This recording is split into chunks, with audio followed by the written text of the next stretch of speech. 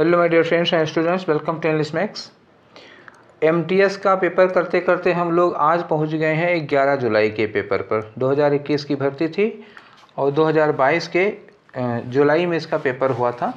तो पाँच, छः, सात, आठ जुलाई हम लोग कर चुके हैं। आज हम लोग करने जा रहे हैं ग्यारह जुलाई का पेपर तो ग्यारह जुलाई का पहला पेपर है ये मॉर्निंग शिफ्ट का, जो सुबह के समय में होता है।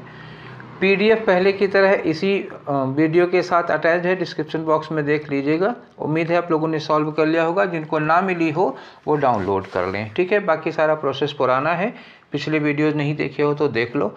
चलो स्टार्ट करते हैं आज का हम लोग डिस्कशन, और पहला क्वेश्चन आपकी स्क्रीन पर किस चीज़ से रिलेटेड है, देख के ही लग रहा है कि ये एरर का क्वेश्चन है। ठीक है, स्लैश लगे हुए हैं, एरर ढूंढना है। चलो शुरू करते हैं। सेंटेंस पढ़ो। पहले लिखा to descend a cracked mountain cracked मतलब जो खुरदरा होता है टूटा फूटा होता है।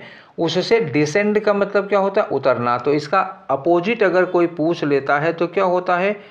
A S C E N D होगा। ठीक है? तो ये असेंड होता है। असेंड का मतलब क्या होता है? चढ़ना। ये, ऐसे आप चढ़ते हो। और डिसेंड का मतलब क्या हो जाता है? उतरना। ठीक है? ये मान लो कभी आ गया पूछ लिया तो ये उतरने के लिए लगता है ठीक है? दो बातें हो गई। तो किसी क्रेक्ड माउंटेन पर आ, से उतरना ये टू डिसेंड लिखा है तो किसी माउंटेन से उतरना कह रहे हैं कि however most difficult and dangerous than to ascend ये असेंड दिया ना चढ़ने की अपेक्षा उतरना ज़्यादा कठिन होता है। तो अब कंपेयर कर रहे हैं ना, चढ़ने में और उतरने में कंपेयर कर रहे हैं तो कंपेयर करने में कॉम्परेटिव डिग्री लगती है सुपरलेटिव नहीं लगती है। इन्होंने कहा वाज मोस्ट डिफ़िकल्ट और फिर यहाँ क्या लगा है? एंड डेंजरस के बाद ये दैन लगा हुआ है। तो दैन के साथ में मोस्ट लगाओगे या मोर लगाओगे? भैया ज़ाहिर सी बात है मोस्ट दैन नहीं होता मोर दैन होता है। तो गलती कहाँ होगा? ये वाला गलत हो गया तो आपका आंसर कौन सा हो गया? थ्री वाला। ठीक है? उम्मीद है समझ गए होगे। नेक्स्ट क्वेश्चन पे आ जाओ, क्वेश्चन नंबर टू है। ये क्या कह रहे हैं? एंटोनीम बताना है आपको। एंटोनीम क्या होगा? इम्पार्शियल। इम्पार्शियल का मतलब क्या होता है? बिना भेदभाव के। ठीक है ना? बिना भेदभाव के, जो पक्षपात नहीं करता, जो एक आँख से देखता है सबको। ठीक है? इसका एंटोनीम इंटेलेक्चुअल बुद्धि से रिलेटेड है, ये होगा नहीं। ऑब्जेक्टिव वस्तुपरक है, ये होगा नहीं। बायस्ड मतलब होता है भेदभाव पूर्ण तो इम्पार्शियल बिना भेदभाव के और बायस्ड मतलब भेदभाव पूर्ण तो यही हो गया आपका एंटोनीम इसका पीएस का मतलब क्या होता है? पवित्र होता है, शुद्ध होता है, ठीक है? ये मतलब मनुष्य के लिए यूज़ किया जाता है पीएस सोल पवित्र आत्मा, ऐसे ही। दूसरा वर्ड लेना चाहो तो होली लिख सकते हो। एक और वर्ड लिख सकते हो sacred S A C R E D तो ये साइनोनीम हो गए। पी एस मतलब पवित्र होली मतलब पवित्र सेक्रेड मतलब भी पवित्र होता है। तीन साइनोनियम हो गए आपके। क्लियर चलिए आगे बढ़ते हैं। अगला क्वेश्चन लेते हैं हम लोग। क्वेश्चन नंबर थ्री थ्री में क्या है? देखो, ये अंडरलाइन किया हुआ है। अंडरलाइन किया हुआ है तो इम्प्रूवमेंट का क्वेश्चन होगा। ठीक है? चलो क्वेश्चन पढ़ के देखते हैं हम लोग। Austin can be saw chasing cops with a sickle तो आस्टिन कोई व्यक्ति है, वो कॉप्स को हंसिया लेके दौड़ा रहा था सिकल समझ रहे ना, हंसिया होता है। कैसा होता है हंसिया? ये ऐसे एक स्ट्रक्चर होता है। ऐसे ऐसे टाइप का एक स्ट्रक्चर होता है, फ़सल वसल काटने के काम आता है। ठीक है? तो यहाँ से यहाँ मर्डर भी कर सकते हैं। ठीक है, चलो अच्छा। तो Austin can be saw can be देखो ये बी लिखा है बी के बाद सा लिखा है, ये हो ही नहीं सकता। क्यों नहीं हो सकता? फिर वही पुरानी कहानी बी की किसी भी फॉर्म के साथ, जैसे बी लगा है बी की कोई भी फॉर्म का मतलब चाहे इज़ है एम हो आर हो वाज हो वर हो बी हो बीन हो, कुछ भी लगाओ। तो बी के साथ आप वर्ब की फ़र्स्ट फॉर्म वर्ब में एस या ई एस लगा सकते हो या नहीं लगा सकते हो, ये बात हो गई। या बी के साथ फ़र्स्ट फॉर्म लगा सकते हो, क्या बी के साथ सेकेंड फॉर्म लगा सकते हो, क्या बी के साथ थर्ड फॉर्म लगा सकते हो।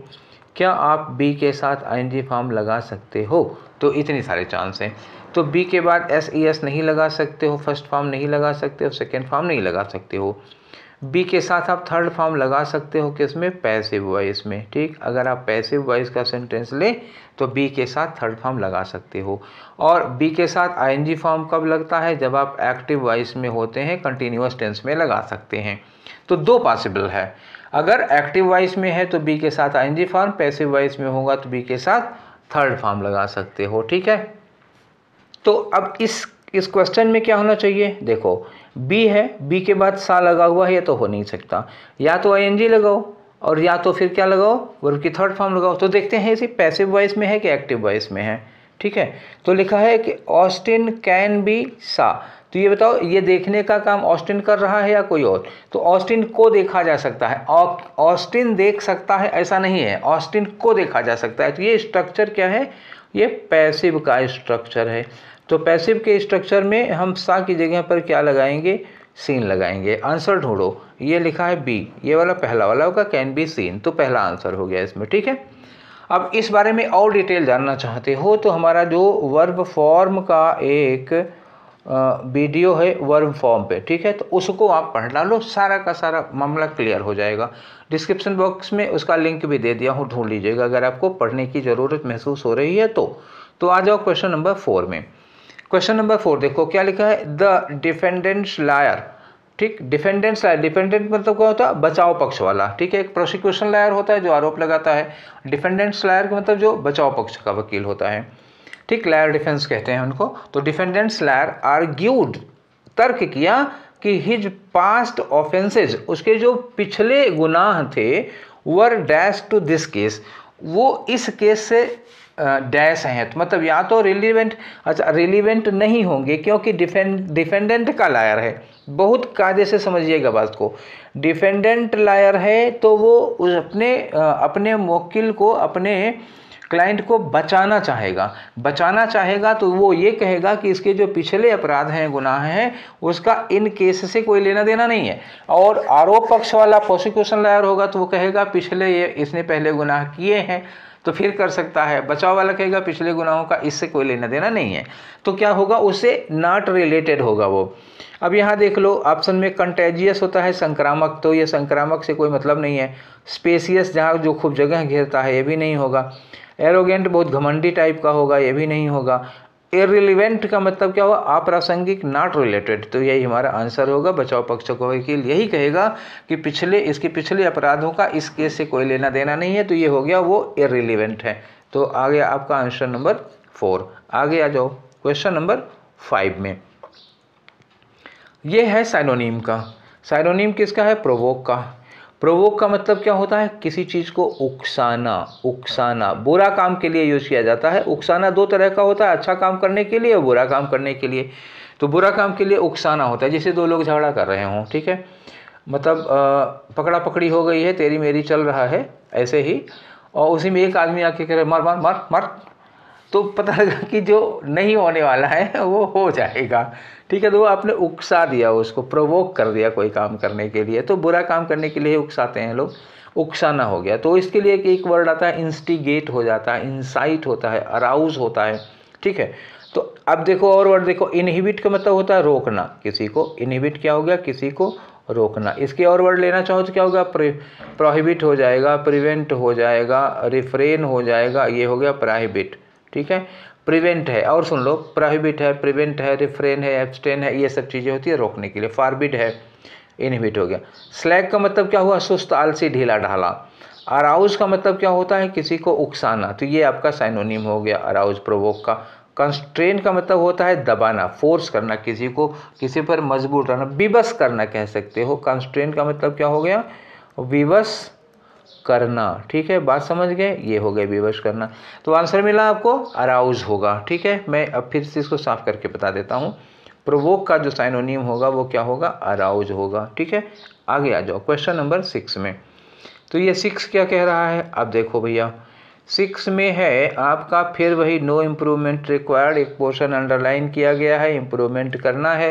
तो क्वेश्चन पढ़ो। लिखा है none only did he did the men aid in the work but the women also did their part तो ना केवल मेन ने uh, इस काम में सहायता दी बल्कि महिलाओं ने भी अपना अपनी भूमिका अदा की अपना पार्ट प्ले किया। तो अब देखो यहाँ पे लिखा है बट आल्सो बट आल्सो किसके साथ यूज़ किया जाता है? आपको अच्छे से पता होगा, आज बचपन से पढ़ रखे हो नॉट ओनली के साथ लगता है but also not only but also ये रहा आपका नॉट ओनली बट आल्सो तो कौन सा लगाना होगा आपका? नॉट ओनली बट आल्सो ये होगा, ठीक है? ये बच्चों वाला क्वेश्चन था यार, ये तो मेरे बिना बताए भी कर लिए होगे, ठीक है? अगला क्वेश्चन आ जाओ, अगर ये गलत हो गया तो समझ लो सत्यानाश है। एडीएम है मीनिंग बतानी है spill the beans spill the beans का मतलब होता है disclose the secret disclose the secret आप राज को खोल दे रहे हैं। ये हुआ। डिस्क्लोज द सीक्रेट ये हुआ। तो डिस्क्लोज द सीक्रेट में क्या आएगा? टू ड्रॉप समथिंग बिल्कुल नहीं। टू फाइंड आउट समथिंग ना, बिल्कुल नहीं। Give away the secret yes यही होगा। टू गेट अन अरे बिल्कुल नहीं होगा। ठीक है तो ये होगा to give away the secret तीसरा वाला हो गया। भेद खोल देना, राज खोल देना। ठीक है? आगे आ जाओ, अगला क्वेश्चन है क्या? इसमें पूछ रहे हैं करेक्टली स्पेल्ट वर्ड बहुत ध्यान देना करेक्टली स्पेल्ट है मतलब गलत वाला नहीं ढूंढना है। तो ये मिलेनिया मिलेनिया गलत है, मिलेनिया में क्या होता है? एम आई डबल एल होगा, ठीक है?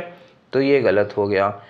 और मोनोथीस्टिक मोनोथीस्टिक देखो मोनो हो जाता है, और उसमें थीस्ट जोड़ोगे तो T H I E S T होता है T H I E S T thiest में क्या होता है? T H I E S T ये होगा। ठीक है? हाइपोथेसिस है। अब इसके बाद हाइपोथेसिस की स्पेलिंग एकदम से करेक्ट है, कोई गलती नहीं है। प्री हिस्टोरिक में प्री जानते हो? पी आर ई होता है जी आई नहीं होता। बाकी सब ठीक है पी आर ई होगा। तो ये भी गलत हो गई। तो और ये भी गलत हो गई। तो आंसर कौन सा सही हुआ आपका? बस एक ही की स्पेलिंग सही है थर्ड वाले में। क्लियर चलो, आगे आ जाएँ। ये क्वेश्चन है हमारा साइनोनीम बताना है। ठीक साइनोनिम कहाँ से बताना है? इस सेंटेंस में साइनोनिम बताना है। लिखा है कि these figures have been greatly exaggerated ये जो फिगर्स हैं, वो बहुत ज़्यादा बढ़ाई चढ़ाई गई हैं। तो एग्जैगरेट का मतलब बढ़ा चढ़ा करके। तो बढ़ा चढ़ा करके इसका साइनोनियम ढूंढना है। अब लिखा है अंडर स्टेटेड अंडर स्टेट मतलब क्या होता है? किसी की वैल्यू को घटा देना, कम कर देना। अंडर एस्टिमेट करना, सुना है ना? एक किसी में डायलॉग था don't underestimate the power of common man ना? याद आया कुछ? आ गया होगा। ठीक है? तो अंडर स्टेटेड हो गया। ये मैग्नीफाइड का मतलब बढ़ा दिया। मैग्नीफाई करने का मतलब क्या हुआ? दो का बीस कर दो। दो में दस का गुड़ा कर दो, ये मैग्नीफाई हो गया। ठीक है? तो बढ़ाना। तो मैग्नीफाई बढ़ाने के लिए लगेगा। बी लिटिल तो लिटिल की वर्ब है। लिटिल की वर्ब बनाओगे तो मतलब क्या हुआ? कम करने के लिए लगेगा ना ये? ये कम करने के लिए लगा इग्नोर का मतलब उपेक्षा करना हो गया। ठीक है तो दो एंटोनीम हो गए और एक साइनोनीम दिया हुआ है। दोनों काम कर लो आप यहाँ पे आप लोग। एग्जैगरेटेड मतलब वो बढ़ाया हुआ अंडर स्टेटेड मतलब घटाया हुआ, ये एंटोनीम हो गया। मैग्नीफाइड क्या हुआ? साइनोनीम हो गया, बढ़ाया हुआ। बी लिटिल्ड मतलब घटाया हुआ ए हो गया। एंटोनीम हो गया और इसका कोई लेना देना यहाँ पर नहीं है। तो इसके दो साइनोनीम और दो एंटोनीम हो गए। अब आ जाओ क्वेश्चन नंबर टेन पर। ठीक है तो क्वेश्चन नंबर टेन देखो भैया क्या करा? फिर भाई एरर का क्वेश्चन है यार तो जरा ऊपर कर देते हैं इनको। करना क्या है हम लोगों को? एरर ढूंढनी है। अनोस्मिया अनोस्मिया क्या होता है? देखो नोस्मिया नोज़ से बना हुआ है। नोज़ नोज़ का मतलब क्या हुआ जब तुम्हारी नाक काम ना कर रही हो तो नोस अनोस्मिया हो जाएगा। इसके पहले आ लगा दो। अनोस्मिया का मतलब ना अच्छी ना बुरी कोई गंध नहीं आ रही, ना कुछ महक रहा है, ना कुछ बदबू आ रही है। समझ गए? कोरोना टाइम में यही होता था अनोस्मिया होता था, उसी समय का टर्म है ये। ठीक है तो चलो, ये मेडिकल टर्म था, मैंने आपको बता दिया। Anosmia is the completed loss और absence of sense of smell ठीक है ना? तो स्मेल का सेंस कंप्लीटली चला जाता है। तो कंप्लीटेड लॉस नहीं होता जी, ये कंप्लीट लॉस होता है। ईडी e नहीं लगाना चाहिए था। क्या होना चाहिए था?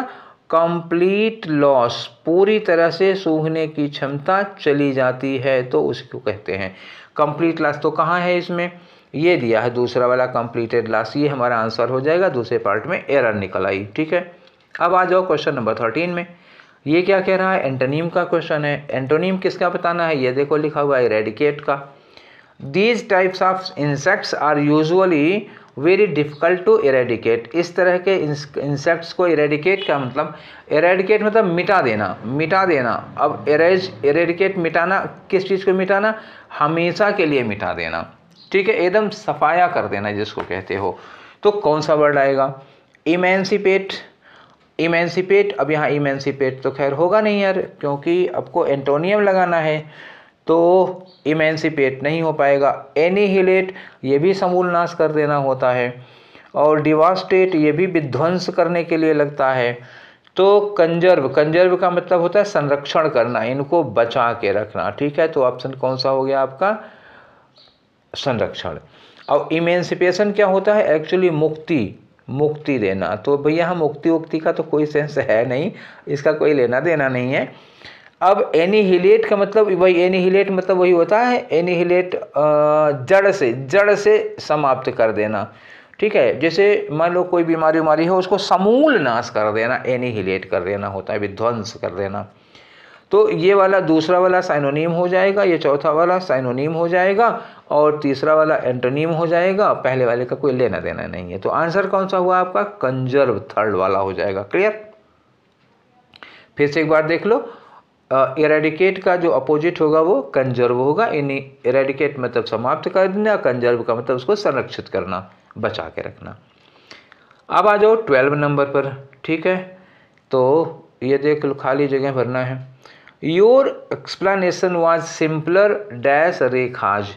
भैया सिंपलर क्या है? कॉम्परेटिव डिग्री कॉम्परेटिव डिग्री के साथ क्या लगता है? दैन लगता है। अब ढूंढ लो दैन कहाँ है? ये दिया हुआ है दैन ये वाला दैन नहीं लगेगा, ठीक है? धोखा ना खाना। तो आंसर कौन सा हो गया?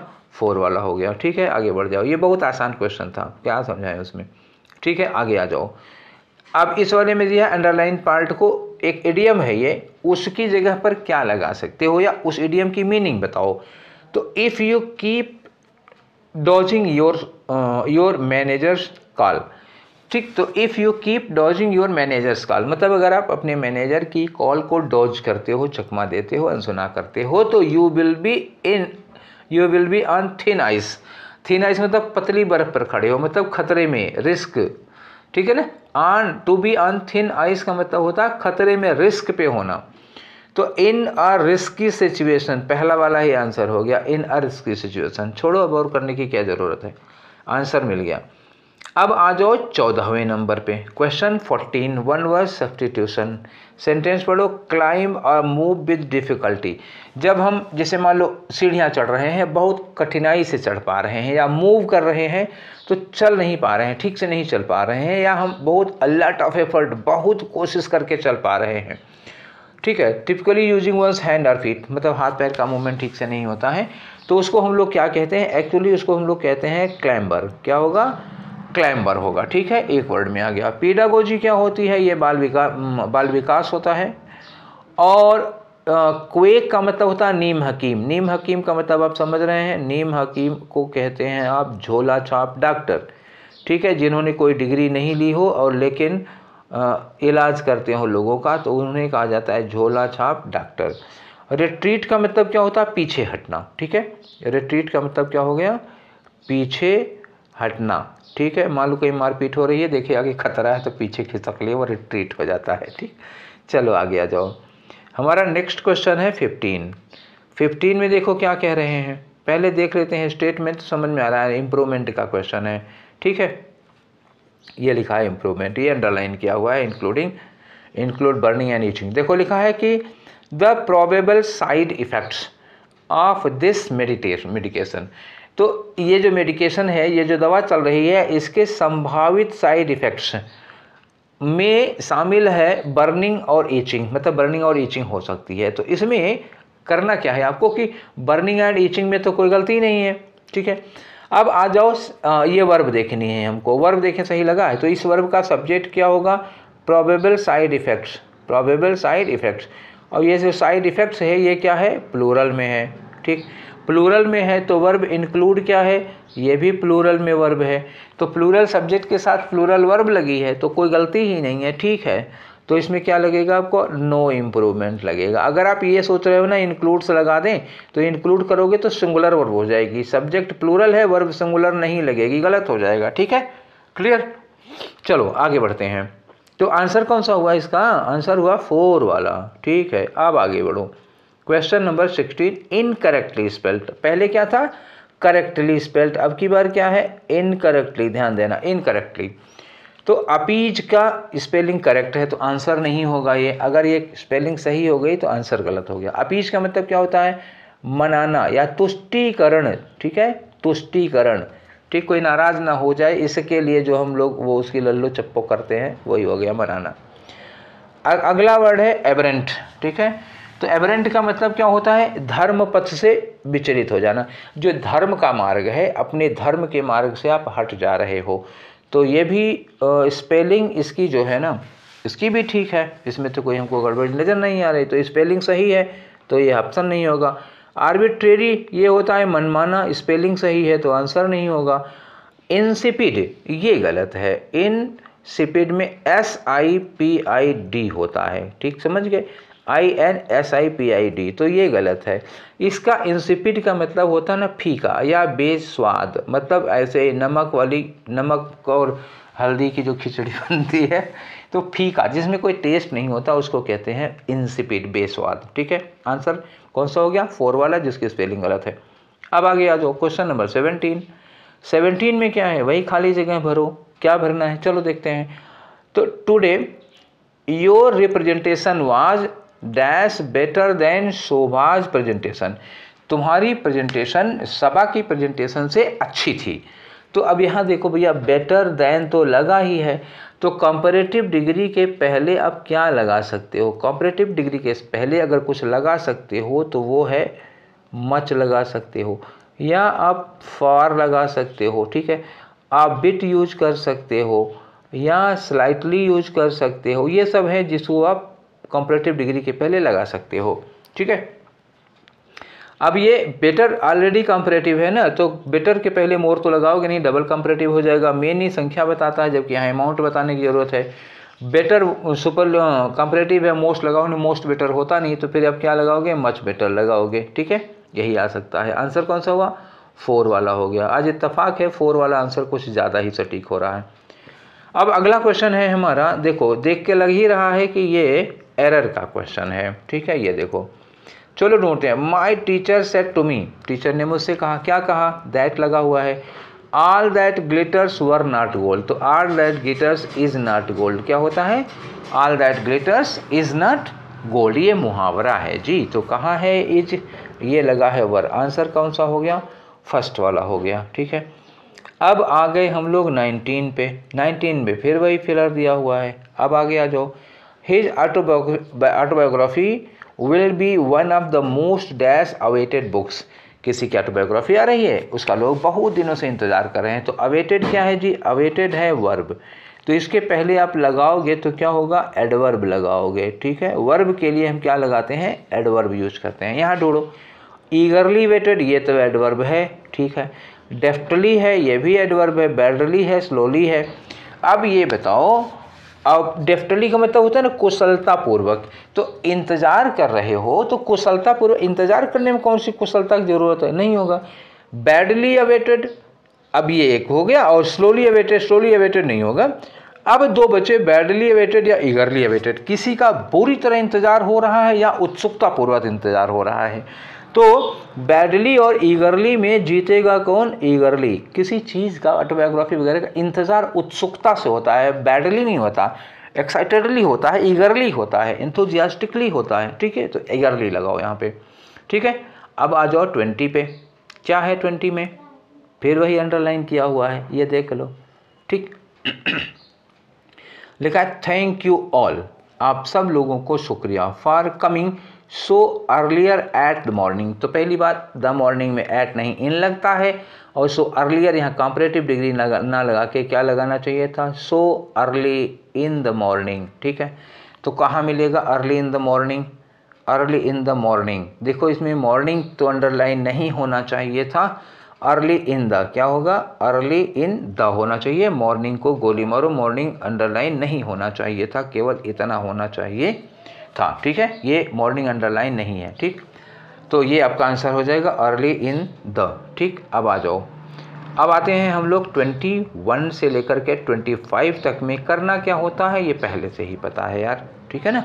जो हर बार करते आए हैं, कितना बताएँगे? ये आ जाओ, यहाँ भरना शुरू करते हैं हम लोग। Question number 21 hmm. With up to fifty thousand species of spiders पचास हज़ार प्रजातियाँ स्पाइडर की, अरे बापरे मकड़ियों की पचास हज़ार प्रजातियाँ। इसके साथ इन्होंने कहा कि स्पाइडर हैबिटेट, स्पाइडर की जो हैबिटेट्स हैं, वो वेरी डैश मतलब यहाँ फुल स्टॉप लगा हुआ है। तो बहुत ही मतलब ज़्यादा वेरी करते हैं। वेरी का मतलब क्या हुआ? डिफरेंट डिफरेंट डिफरेंट होते हैं, ठीक है? तो वेरी करना मतलब अंतर होना। तो फिर यहाँ पे क्या हो गया? वर्ब हो गई। वर्ब है। वर्ब है तो यहाँ क्या चाहिए हमको? एडवर्ब चाहिए। वर्ब के साथ लगाओगे तो वर्ब का ढंग बताने के लिए एडवर्ब लगाओगे। ठीक है, पहले वाले में। Spiders are dash to live any तो कोई ऐसी चीज़ लगाएँगे जिसके साथ टू लग सकता हो। Anywhere in the world except Antarctica तो इन्होंने कहा कि जो स्पाइडर्स हैं अंटार्कटिका के अलावा वो कहीं भी रह सकते हैं। तो रह सकने के लिए यहाँ पर टू वाले में आएगा। हुँ? हम्म। फिर लिखा they dash not live in bodies of water ये वाटर बॉडीज में नहीं रह सकते। तो वाटर बॉडीज में नहीं रह सकते तो ये कैन नाट वगैरह जैसे लगेगा, रहेगा प्रेजेंट में। कैन नाट लग सकता है डू नाट लग सकता है। ठीक है ना? विल नाट तो फ्यूचर में चला जाएगा, होगा नहीं, वो प्रेजेंट में ही रहना होगा। क्योंकि पूरा पैसेज स्पाइडर्स के बारे में है और उनकी आदत प्रेजेंट इंडिफिनिट में रहेगी। ठीक है? उनके नेचर से रिलेटेड है ना? तो ये पास्ट हुआ नहीं है, अभी भी पास्ट नहीं हुआ है ना? कोई चीज़ जब किसी के, जब किसी के नेचर वगैरह पे बताते हो जनरल सेंस में होता है तो पास्ट नहीं होता, वो ऑलवेज प्रेजेंट होता है। आगे आ जाओ। तो जो स्पाइडर्स हैं they dash not live in bodies of water वो पानी में नहीं रह सकते इन द एयर ठीक है ना? हवा में नहीं रह सकते but can adopt but can adopt dash almost any type of environment तो पानी वाला और हवा वाला छोड़ के बाकी वो कहीं भी रह सकते हैं। कोई भी एटमॉस्फेयर को वो किसी भी एनवायरनमेंट को एडॉप्ट कर लेते हैं। ठीक है तो यहाँ लिखा है एडॉप्ट आगे लिखा है, बता रहे हैं हॉट और कोल्ड चाहे हॉट हो या कूल हो वेट हो या, अब देखो, यहाँ पे आपको करना क्या होगा, ध्यान देना। हॉट के साथ क्या लिखा है? कूल ये हॉट के साथ क्या लिखा? कूल तो वेट के साथ क्या लिखेगा ड्राई लगेगा और क्या? गीला, सूखा। ठीक है? ठंडा, गर्म गीला, सूखा, ये आ जाएगा। ठीक है? अब आ जाओ। एक एक करके भरना शुरू करते हैं। तो पहला वाला जो है, वो क्या कह रहा है? पहला कह रहा है कि हैबिटेट्स वेरी डैश। तो मतलब क्या हुआ? एडवर्ब चाहिए यहाँ पे हमको, एडवर्ब। एडवर्ब के लिए क्या लगाओगे? वाइडली। बिल्कुल सही। Very widely. वाइड नहीं लगेगा, वाइड, वाइडर वाइडर एडजेक्टिव है, ये नहीं लगेगा। क्या लगेगा? वाइडली। एडवर्ब की ज़रूरत है हमें। ठीक है? दूसरे वाले क्वेश्चन पे आ जाओ। मतलब फिलर नंबर टू है क्वेश्चन नंबर ट्वेंटी टू है। यहाँ क्या करना है आपको? Spiders are dash to live any वो कहीं भी रह सकते हैं। तो क्या करोगे? अथराइज टू उनको अधिकार दिया गया है। तो किसने दे रखा है? आप, आपने दिया है क्या? बिल्कुल नहीं। वो अथराइज नहीं है।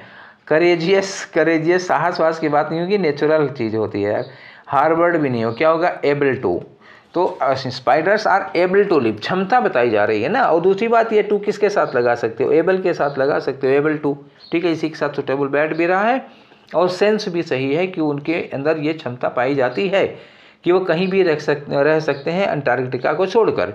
फिर इसी को एक्सप्लेन करने के लिए कहा कि वो वाटर बॉडीज या एयर में नहीं रह सकते हैं। तो थर्ड वाले फेयर में क्या होगा? दे, अब दे के बाद क्या हुआ? नहीं रह सकते। कैन नॉट मिल जाए तो अच्छा है। कैन दिया नहीं है, सब क्या दिया? डन दिया डज दिया डेड दिया, डो दिया। तो डिड होगा नहीं, क्योंकि जनरल नेचर की बात हो रही है, प्रेजेंट में ही रहेगा। डन थर्ड फार्म में ऐसे कैसे लगा लोगे? डज लगा नहीं सकते हो, दे लगा हुआ है तो दे के साथ डज नहीं लगेगा। फिर क्या लगाओगे? दो, डू नॉट लगेगा। ठीक है, प्रेजेंट इंडिफिनिट का होगा।